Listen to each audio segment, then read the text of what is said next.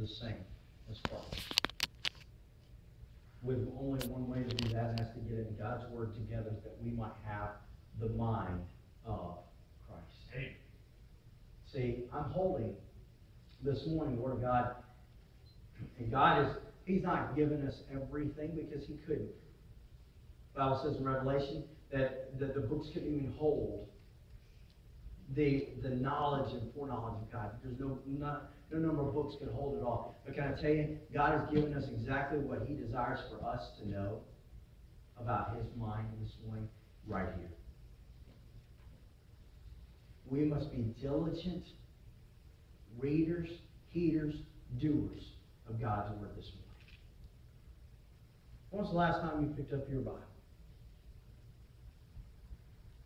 When was the last time you read the pages?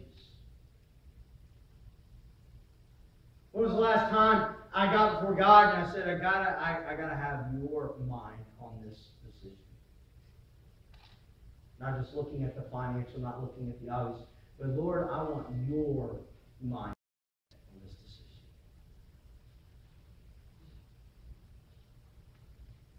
If we were all honest, maybe this morning we'd say, well, a couple times this week, maybe.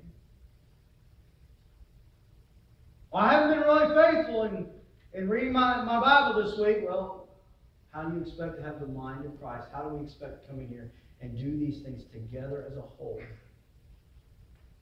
if we're not all seeking the mind of Christ? Seeking to think like Him. Not think like myself, but to think like Him.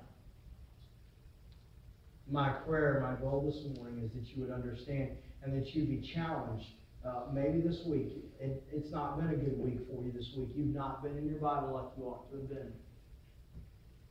And I tell you, for us to walk, for us to have the strength we need, for us to be, uh, to face the trials and temptations that we will all face today and tomorrow and the next day. For us to face it together, for us to help each other together, for us to live together, for us to build uh, God's church together, we must have the mind of Christ. God's thinking on the matter.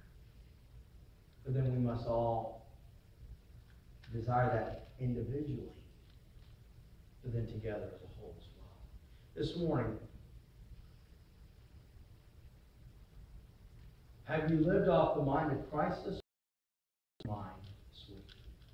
Have you debated things uh, your own way, or have you sought God's mind on the matter this week? Have you focused on His will this week? Have you focused on His word this week? Or have our decisions, has, has the way we've lived brought us in here this morning ununified, divided, as we walk Christ? Is our in the mind of Christ? Have they have we all had the same desire coming into this morning's service? Some of us came because that's what we're supposed to do. Some of us came because uh, we wanted to see somebody and talk to somebody.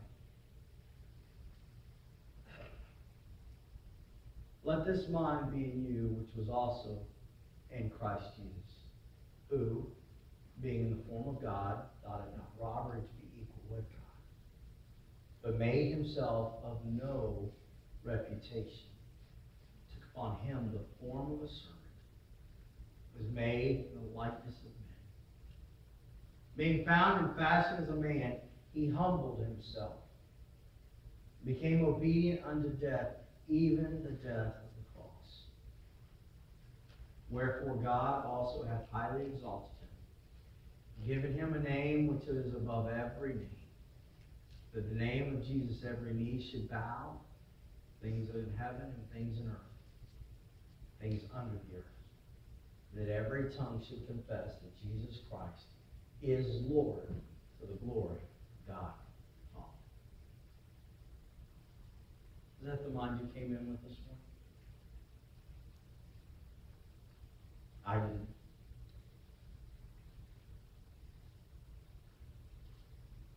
This is the mind that God desires for each one of us to desire ourselves, but also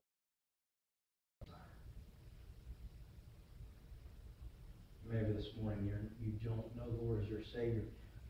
And you can't have the mind of Christ without having Christ as your Savior. We'd love to have take the opportunity from God's Word to show you how you too can know that your sins are forgiven. Just spend eternity in heaven. Can I tell you this morning, Christians, let this mind be in you. And you know what the amazing thing is? As we begin, as we begin desiring individually to have the mind of Christ, the other things that he lists in this verse, having the same love, being of one accord, guess what? Those will fall into place as we seek to be like-minded with Christ. Because then we'll all have the same desire. We'll begin getting the same instructions, the same directions from His Word this morning. You know, I could ask a simple question and everybody has to raise their hand. If I said, how many of you would say I'm not like-minded with Christ this morning? And about everybody but have to raise their hand. It's just a question for hand raising. But truth be told, we don't have the mind of Christ. But we should desire it. We should seek for it. We should search after it. I didn't ask that question because many times it's just a question for answers, but I'm curious this morning how many of you have a desire for the mind of Christ this morning? How many would would would desire beyond everything to have the mind of Christ this morning? To be able to think like Him, love like Him, live as He did. No, I'm not going to be perfect and I'm not going to be able to do everything that He did. I can't live a sinless life. That's impossible. But can I tell you this morning, God has challenged me to desire and to live after, striving for the mind of Christ. That I may please Him, that I may glorify Him, that I may speak as He would speak, that I may dis- discern things the way He would discern them, having the same judgment.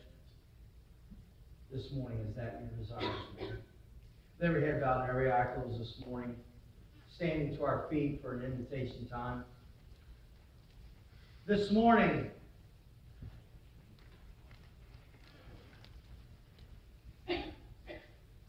God desires us to be like-minded for us, for all of us individually, to be like-minded as a whole. The only way that is possible is through each individual having the desire to have the mind of Christ, seeking Christ's mindset on. This morning, do you desire to have that? As the piano begins to play, maybe there's someone this morning that's never, that does not know Christ as a personal Lord and Savior this morning.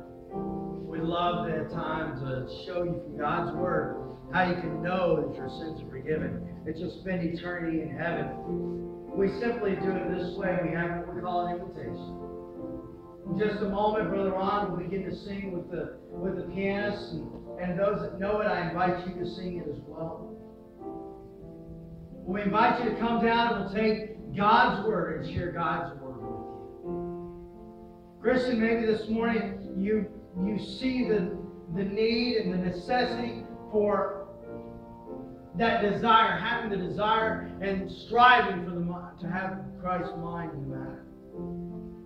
That this is a time that you can come down to the altar and say, Lord, you've told me, you've shown me that I need to have your mindset. I need to change my mind to be like yours. Would you come? Would you take just a moment to come before His I want to have your mindset. I need to be in your word. I need to strive to be uh, to, to grow more like you